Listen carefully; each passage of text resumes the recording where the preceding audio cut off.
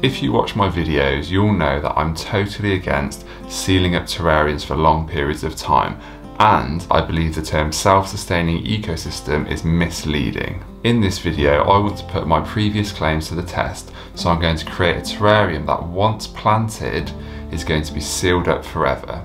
I want to see just how self-sustaining a terrarium can actually be. For the best plant and terrarium advice, subscribe to my channel and hit the bell to be the first to know when I upload a new video every Thursday. So what does a terrarium actually need to be self-sustaining? So in my head, starting with large glassware is going to give it the best chance of long-term survival. It's going to give the plants more space to grow into and it will enable me to add more substrate so the roots will be healthier. I'm going to add microfauna in the form of springtails because they're going to help to process any decaying matter and will help Fertilise the plants a small amount too. Because I'm not going to open the terrarium again once that cork goes in, that means I'm not going to be able to feed the springtails. So I'm going to add a layer of leaf litter which will slowly decompose over time and give the springtails something to feed on. It's going to have to be positioned somewhere where it's going to get a good amount of light. I think I'm going to buy a desk lamp and put a warm white bulb in there purely for this terrarium plant choice is going to be centered around low maintenance, slow growing plants that are easy to care for. I'm also going to incorporate all the layers that generic terrarium guides say you need, and I'm going to water it once. It's going to have the initial watering, the cork's going to go in, and then that's it. I'm not removing that cork again, no matter what. So I'm actually quite excited to see how this is going to turn out. And no matter what happens to the terrarium, I'm going to do a follow-up video, or maybe two or three, depending on how successful it is.